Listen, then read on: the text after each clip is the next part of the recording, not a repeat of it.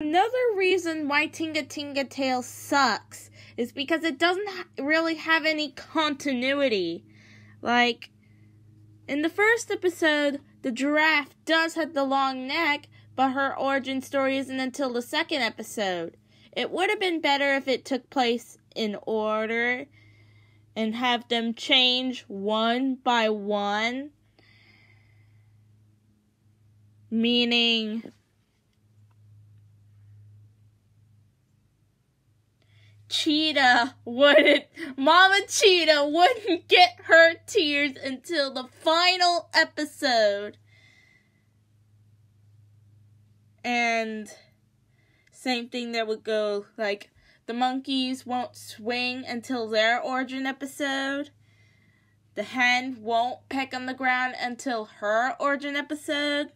And lion will not roar until his origin episode.